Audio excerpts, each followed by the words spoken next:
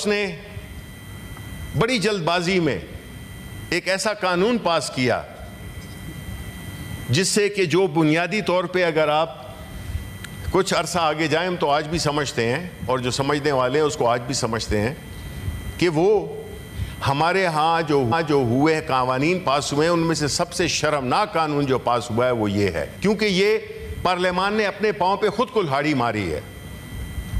हम इस्तेमाल हुए हैं। हमने जमहूरी कुवतों के रास्ते में दीवारें खड़ी कर दी हैं। हमने देखा कि अभी इधर बैठे हुए थे कॉमर्स मिनिस्टर। मैं उनसे पूछता कि पाकिस्तान के जो एक्सपोर्ट्स हैं, पाकिस्तान का जो ट्रेड है, ये कंटेनर्स कराची में होने चाहिए थे, ये कंटेनर्स उधर होने चाहिए, एक्सपोर्ट्स के लिए इस्तेमाल होने चाहिए थे।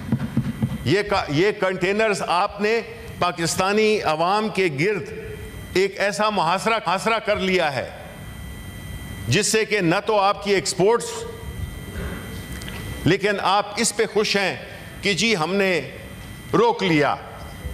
हमने इस मूल इस शहर को बड़ा महफूज कर दिया। तो जो कानून आपने पास किया था, हम उसके शामिल नहीं हैं। पाकिस्तान तरीके इंसाफ उसमें बिल्कुल शामिल नहीं थी, बल्कि हमने उसको रद्द किया था।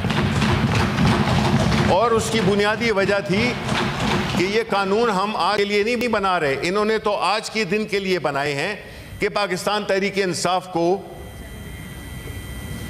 कंटेन किया जाए। देखें जी, आप कितने कंटेनर लगा लें। लाखों का मजमा था। हम पूछना चाहेंगे कि क्या वजह थी कि इस कानून के बाद एक लीगल परमिशन के बाद पूरे कवानीन की, रूट की, हर चीज़ की अमलदारी करते हुए पाकिस्तान तहरीक इंसाफ को एक ऐसी जगह दी गई जिसमें कि मैं चाहूँगा कि आप लोग भी जलसा करें। खैर है, लोग हम आपके लिए भिजवा देंगे बिकॉज़ आपके लोग जो है तो अब नापैद हैं। और ऐसी जगह पे पूरे जीटी रोड को पूरे मोटरवे को ब्लॉक किया गया था कंटेनर्स लगा के, जिसकी वजह से पूरे मुल्क इसी तरह पंजाब साइड पे भी कंटेनर लगा के और इस जलसे को नाकाम करने की हर तरह से कोशिश हुई। लेकिन फिर भी, देखें, जज्बा होता है। आप लोगों को बिरयानियाँ ला के हम नहीं लाते। हम लोगों को अपने नज़रिए और इस मुल्क की मोहब्बत में और इस मुल्क, इस पार्टी की लीडरशिप के मोहब्बत में लोग आते हैं। हम ना कोई ट्रांसपोर्ट देते हैं, ना कुछ लोग जौक दर जौक आते हैं। बिकॉज़ उनको पता है कि जो इस वक्त की जो पार्टियाँ हैं, बैठी हुई हुकूमत में, ये ज़ाती मफादात या ग्रोही मफादात के अलावा इनका आवाम के साथ कोई लेना देना नहीं है। तो जब वो कंटेनर्स मुख्तलिफ़ जगह पे रखे गए, उसकी वजह से शाम तक लोग पहुँचने में उनको मुश्किल भी पेश आई। और वो अपनी जगह पे लाखों लोग सड़क पे थे। वो जलसागाह तक पहुँच भी नहीं गए क्योंकि जो उसकी अप्रोच रोड थी, वो इतनी तंग थी 20 फुट की रोड जिसमें टू वे ट्रैफ़िक था। वन वे भी नहीं था टू वे ट्रैफ़िक था। उसकी वजह से ये टाइम लेट हुआ। देखें, जो जलसे होते हैं, बदनीयती तो इस पे है। और मुझे बड़ा अफसोस होता है कि कल जब हमारे जो इस वक्त ट्रेजरी में बैठे हुए हैं, ये समझते हैं कि हम हमेशा यहाँ बैठे रहेंगे।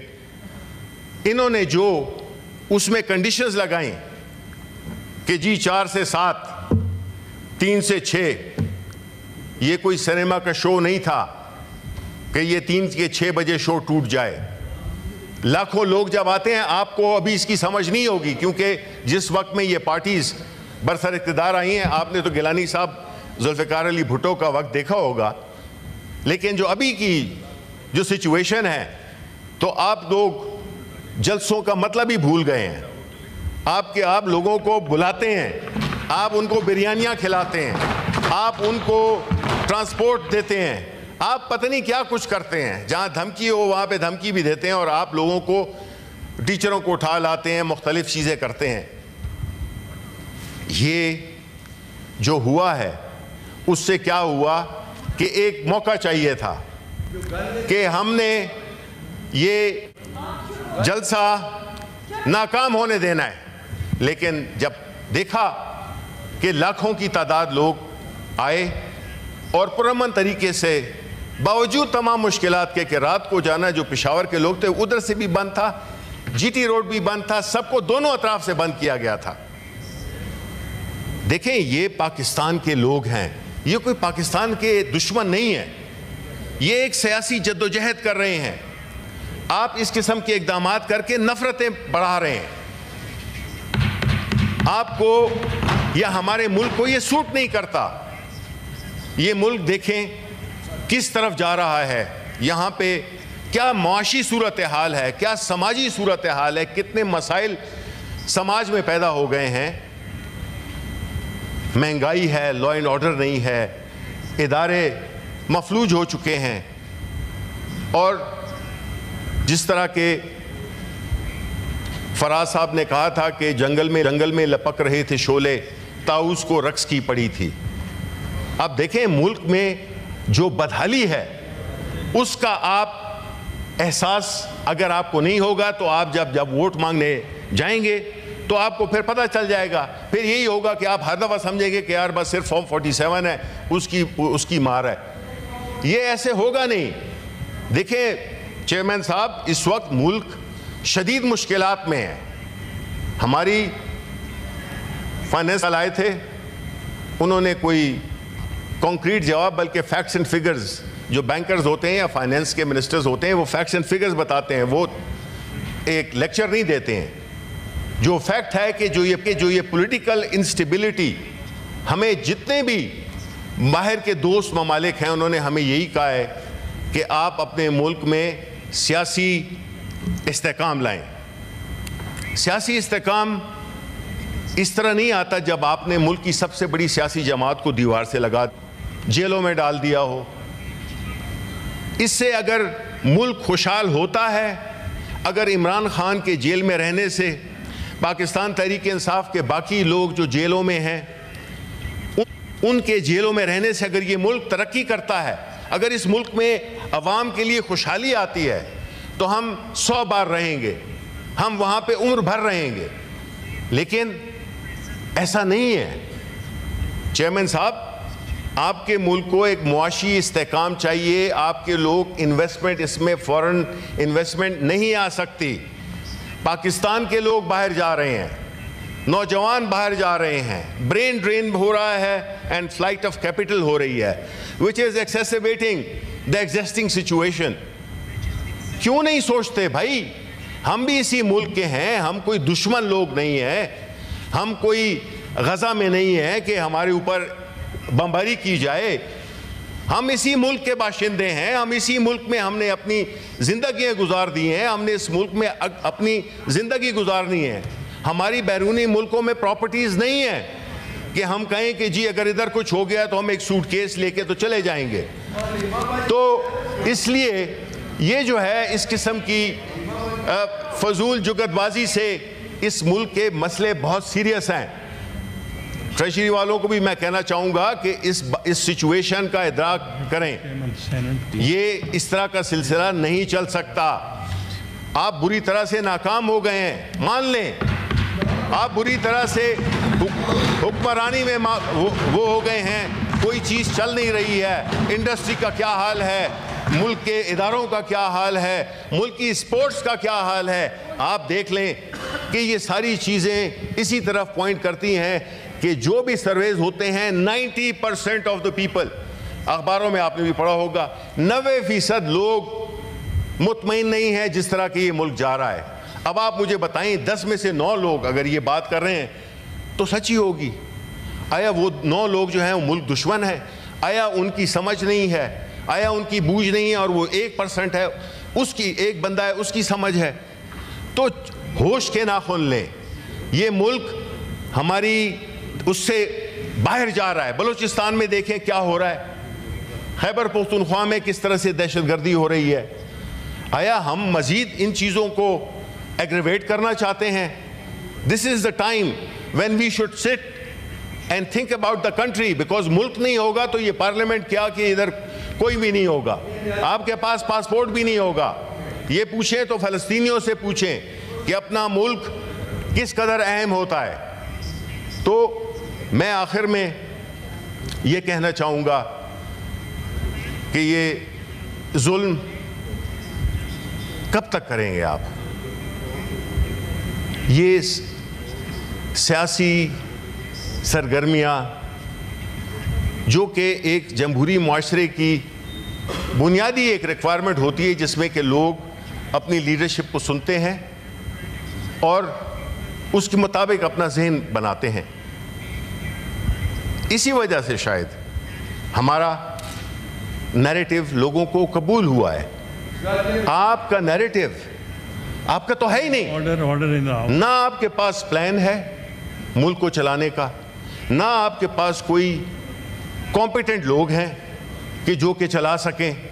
सवाल गंदम जवाब चना। ये मुल्क दो 25 करोड़ लोगों का मुल्क है सर। ये इतना आसान मुल्क नहीं है।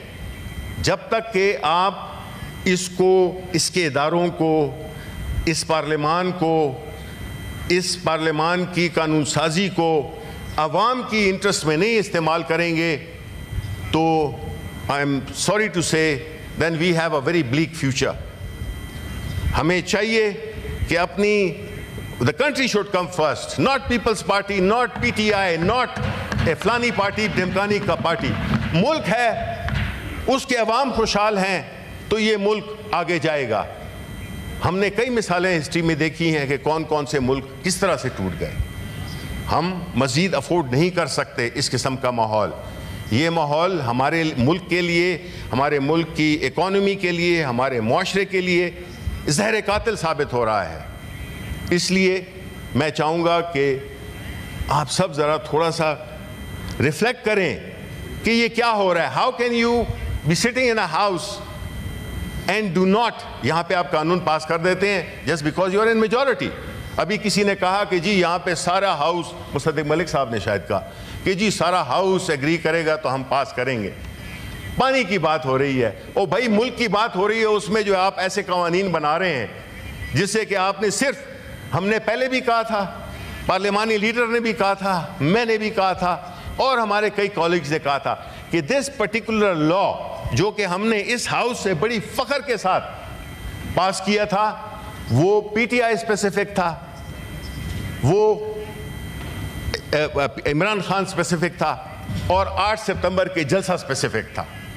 और कोई उसमें ना विजडम था, ना उसमें कोई डेमोक्रेटिक स्पिरिट नज़र आ रही थी, ना उसमें सिंसरिटी नज़र आ रही थी। और नतीजा क्या हुआ कि जी, आपने चूँकि कॉमा नहीं लगाया, आपको तीन साल और दस साल की कैद।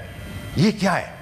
What is this do we feel proud chairman साहब of passing such laws in this house and I am sure कि अभी भी what you have on the annual अभी भी आपकी जो हम मूवमेंट देख रहे हैं, अभी भी हमें मालूम है कि again you are going to spring some rabbit from the hat मैं आपको अश्योर करता हूँ कि जो कुछ भी हो रहा है, चीज़ें ट्रांसपेरेंट करें।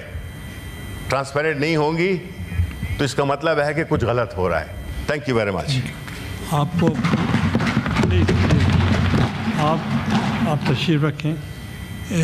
लीडर ऑफ़ द अपोजिशन आपने खुद यूनानिमसली एक कमेटी की रिपोर्ट यहाँ ले की। हमने उसको पास नहीं किया। अभी यहाँ अब्रप्टली पास नहीं किया। So that it should be debated तो इसलिए हम चाहते हैं कि ज़्यादा से ज़्यादा यहाँ डिबेट हो तो फैसल बाडा साहब एक उसके एक इधर से एक। मैं